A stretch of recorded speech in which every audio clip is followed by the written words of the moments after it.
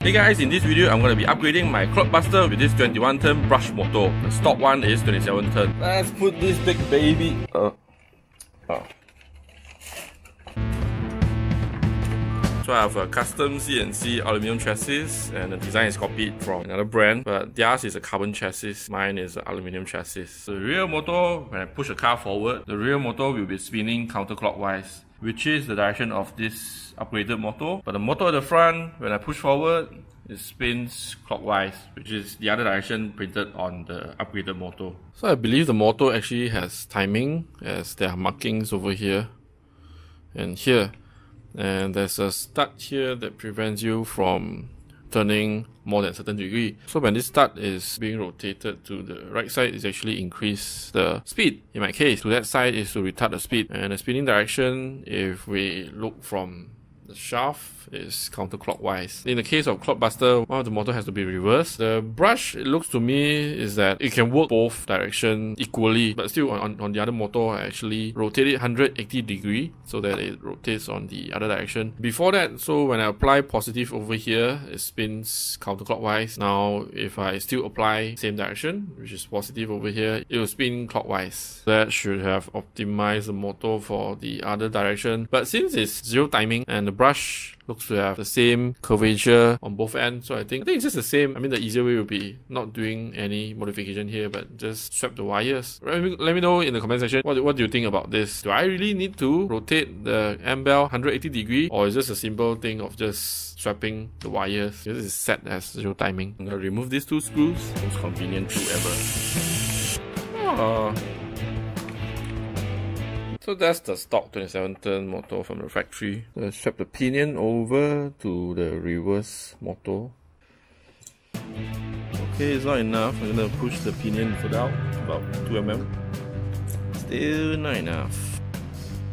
Okay, about this. And every motor is different because the shaft length is different. Okay, quite perfect. Now putting the cover back on.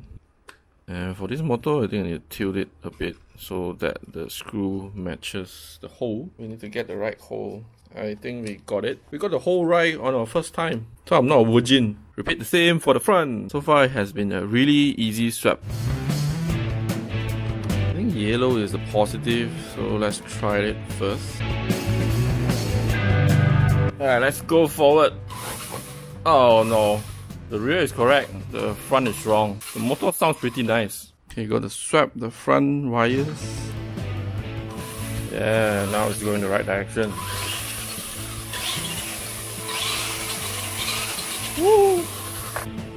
Out of the box at 37T. Not too, not too slow, but not very fast. It's just nice.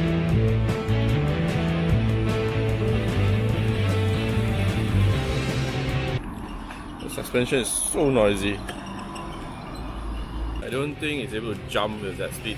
Full throttle, yeah, no jump. One more, full throttle. New 21 turn motor test, uh, full throttle. It's not faster, hell. And I mean, it's not a fully charged battery, but it's not like badly drained as well.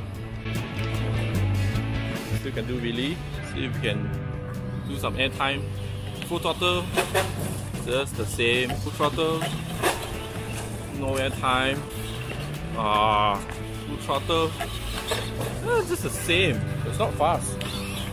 A waste of time and money. Damn it, so I'm gonna do motor RPM test to verify if the 21 turn is actually faster than the 27 turn. Or perhaps the factory one is not a 27 turn, maybe it's 21, exactly the same. Also the front and rear motors, they run warm, not hot, which is the same as the stock motor. So that's good news. Perhaps I should have just went to 3 cell with Hobbywing Dual Motor ESC. It's even easier to upgrade than changing the motor. So I'll do a follow-up video after this. Bye! Click the left thumbnail for latest video or smash the subscribe button on the middle of the screen. So I'll see you on next video. Bye!